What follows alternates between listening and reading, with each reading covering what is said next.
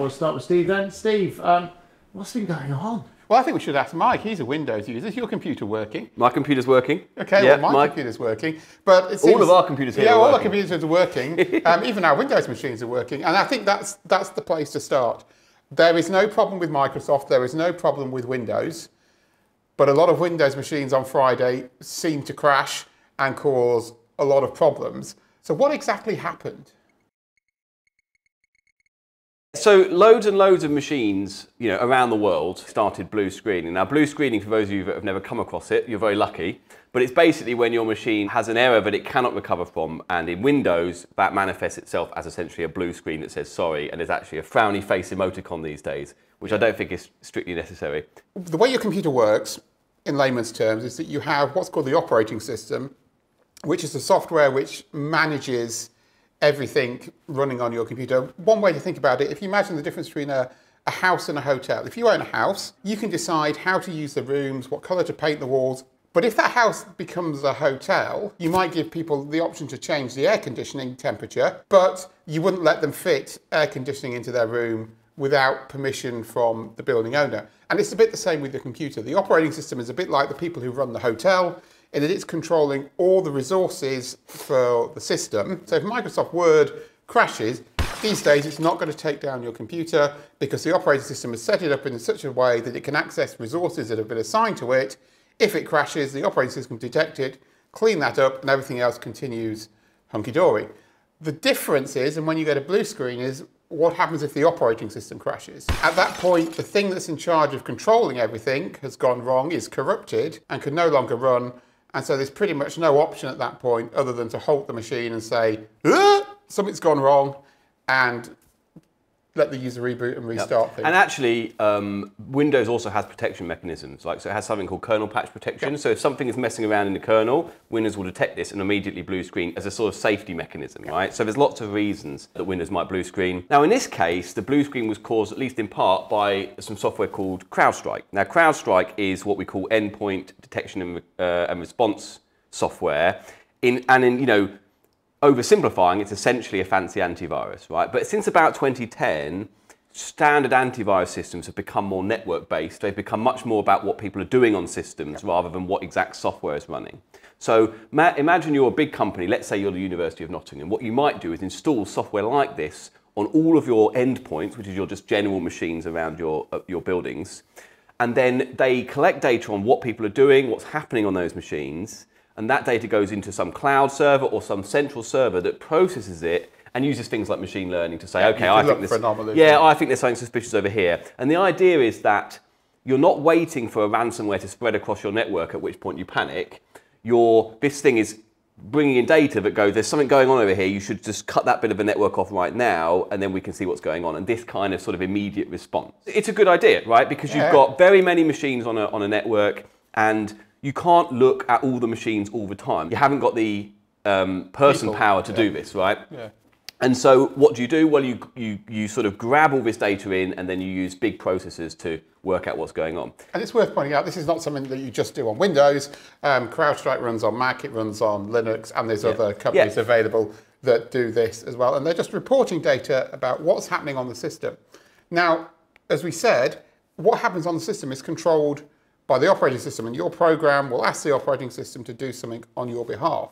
Now, for this software to work, it needs to be able to see what each program is doing, and so effectively it has to embed itself within the operating system. It has to become an extra janitor in our hotel, for example. So it's got like the passkey for all the rooms. It's got the passkey for Yeah. every room. It can see every request going through the concierge desk, uh, and so on to drag the analogy beyond stretching point. And so actually in Windows, there's a, there's a kind of distinction between what we call user level drivers, for example, and kernel level drivers.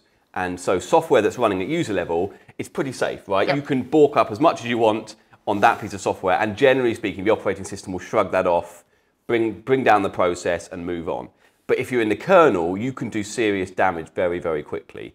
And so when you're writing kernel level code, you have to be extra, extra careful, right? And I'm, you know, I'm sure Should be extra, you extra should be extra, extra careful. And what's happened here is an update has gone out, which has caused an unrecoverable error, you know, in kernel level code, which means that Windows hasn't been able to respond to that. And it's worth pointing out here is that this wasn't an update to the kernel level driver, the bit of code that's managing this for CrowdStrike, what's called their Falcon sensor, which is sitting monitoring it. It was an update to the definitions of what it's looking for. So there was a new threat using Windows named pipes, which are part of the operating system, and they'd updated the definitions for that, and they'd sent that out. It's got onto the systems, and then when the drivers tried to load that on hundreds of millions of systems, it's just gone completely haywire and crashed. And is that a routine update that happens once a week or? You'll get updates as threats develop. You will need to update what you're looking for. For example, if you suddenly realise that people are using a new part of Windows you hadn't been checking for before for some sort of malicious attack, you're going to want to report on that back to the central thing so you can say, hey, we created these named pipes.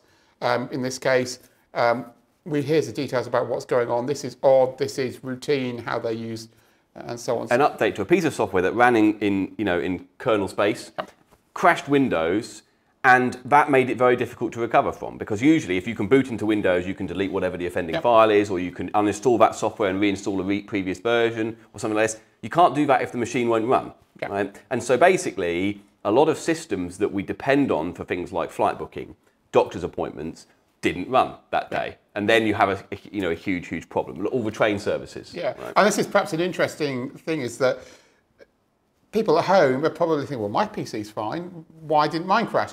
And this is because this is software specifically targeted at big enterprises, the NHS in the UK, the universities, banks, railway stations, those sort of things, who need their IT teams to be able to monitor huge fleets of computer systems remotely. They're not the sort of antivirus that you'll run at home where you'll just be running Microsoft Defender. Although there's nothing that would stop the same thing happening with them. This isn't something that's unique to CrowdStrike, although they may have implemented something badly, we don't know. Um, anything that ends up running in kernel mode has the potential, if it goes wrong, to cause these problems. And it, and, it, and it also it draws attention to this kind of interconnected nature of what computer systems are nowadays, right? It's all very well me saying, well, I don't run this software, so I'm impervious to this attack. We build our computers on so many servers and other other systems that we depend on that once you take out specific machines from across these, even if it's not that many machines, you can have an absolutely massive impact. You've mentioned CrowdStrike, but um, I've seen a lot of people blaming Microsoft. And you know, you mentioned before this could be on other operating systems. Why? Why was Microsoft so badly hit by this? Uh, Microsoft was so badly hit because it was a specific bug that affected Microsoft machines and caused it to crash. And there's a lot of Microsoft Windows Yeah. machines out in there. I mean, the, the thing to point out is that Microsoft tried to solve this, but were told they can't do that. What they wanted to do was say, okay, antivirus software has to use a specific API to get this information, which means it doesn't have to run in kernel mode. That's a good idea, as we can see now, and is actually what people like Apple have done on macOS and iOS and so on. And they were told this would be a monopolistic practice. The antivirus vendors were like, we can't write our software if you do this. Maybe that would have been a good idea in hindsight. So that isn't thing something as a result of this. This was something. This was this was quite a while ago. So Yeah. you know, so for many years, there's been a sort of push war between the operating system vendors who want total control over their system so they can make it safer, but also it's easier to do that, Yeah. and other vendors who want to sell extra products like antivirus or endpoint response and so on or and so just forth.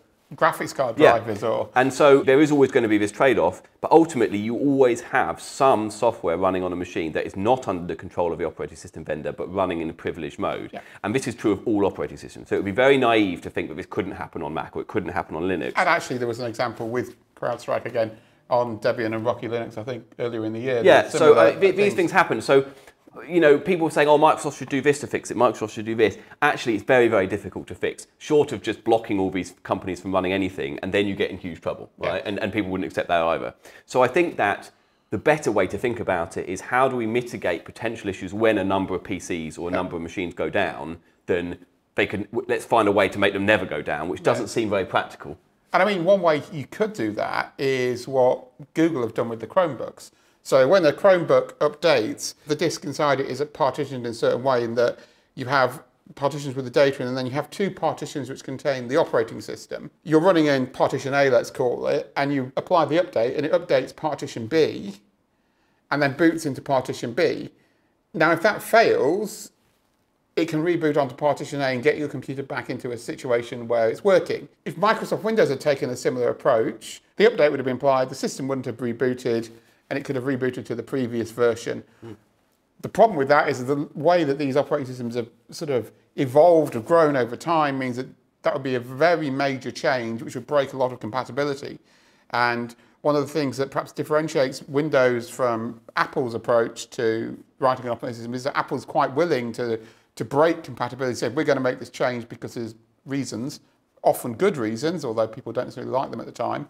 Whereas Microsoft says, no, we're going to bend over backwards to make sure that that piece of software you had written in 1993 that is critical for running your nuclear power station, your railway station, whatever it is, will still run on the latest version of Windows 12 when you install it next year or whatever it is, you'll do So that. A lot of people spoke about this as, as the biggest attack ever, right? Now I don't know numerically whether It's not an attack for a start. Right, well, no, yeah. So the biggest, yeah, the biggest security incident, the biggest PC incident, the biggest, yeah, the biggest mess ever. And that might be the case in terms of a number of affected machines or a number of affected people. Um, but I would also note that it could have been a lot worse. Right, this was a genuine mistake from a company Yeah. that caused a genuine mistake of a problem. If they had been malicious, they could have done so much more damage, right? They could have started deleting files, they could have installed ransomware on all Yeah. these machines instead. And then you would, we're coming at this now only a few days after, and most of the machines are back up because you can delete this file. Uh, I- Okay, some machines are back up. I think it's going to, I mean, that, that's actually the problem is that to fix this, you've got to boot the machine in safe mode, you've got to delete the offending channel update so the machine can reboot up and collect the update.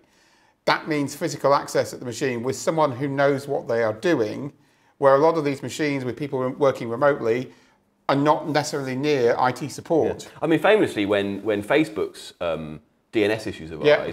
they couldn't get into the building Yeah, to fix the the machines door because, because they were also controlled by the same system. Yeah, right? so I So, think- but I mean, you know, had this company been like a state actor who'd um, acted maliciously, they could have encrypted a bunch of files on these machines, and it would have taken. They would have had to essentially rebuild these machines from scratch, Yeah. right? Or, and, and that would have been a, a major, major incident. And just one question then. And you mentioned endpoint. This is endpoints. This is generally not servers, so they are at least accessible, or what? Well, yes, except that I think this is quite routinely Yeah, installed on on servers servers as as well. well. I Like there mean, are people installing this stuff on their domain controllers for networks, right? I mean, And so- endpoint as in not the middle of your network. Yeah. Not the Or- switches Or, or and- maybe not the not the machine that's incorporating all this data specifically, right? Yeah. So it, you know you could think of it as as the endpoint is not the one, let's say, analyzing all the logs, checking all the data. That's going off and being checked elsewhere. But if it's installed on a domain controller, Yeah. no one can log into your network, right? Because that's the one that does the login. That's the one that manages all the users. So depending on where this was installed and to how and how many systems it was installed on, you could have had a slight headache or a very bad day, depending on on I which mean, it the be a really bad day or month. Yeah, and you get interesting things. I mean, I, I heard on Twitter, sorry, Elon, um, of one company who was having to do this on Amazon's EC2 network. And of course, everyone's doing it, which means the latency on accessing backups, on rebooting systems, because everyone's accessing the disks, because everyone's doing the same thing, suddenly shoots through the roof. There's been a lot of talk, un- unrelated to computers, there's been a lot of talk, you know, in, in the current sort of political climate about things like supply chains, right? Chip Yeah. manufacturers, right? Should all chips be manufactured in, in one country or should all countries be able to produce chips? And, and I think the same is also true of control over systems and operating systems, right? If you put everything onto the cloud and the cloud isn't there, you've got nothing. There's just some things to think about for companies and for individuals about to what extent do we spread everything around and, and leave ourselves at the risk of, of, of not being able to run anything when specific machines go down that we depend on. And it's probably worth also thinking about backup strategies. If this has been the university, okay, we don't run CrowdStrike, but we do run equivalent software on our machines, and we had an exam, for example, we have online exams that was due to happen that day, that would be chaos. And it might actually be worth us thinking as a university, well, what would be our backup plan? A bit like the pandemic and how everyone went, well, we were totally unprepared. I mean, how, how prepared can you be for a global virus, right? And in some sense, this is kind of a similar concept. We can prepare all we want, but ultimately, we also have to expect that at some point, a lot of machines are going to go down, the DNS system is going to go down, something's going to go wrong, and suddenly none of your PCs work anymore for a day. And then you just have to think about what you might do. And, and as I said uh, online, I think you should just go outside and enjoy the sunshine. and run it, Right, so we should see the message hello have to add a computer file examples, but we are going to pop up.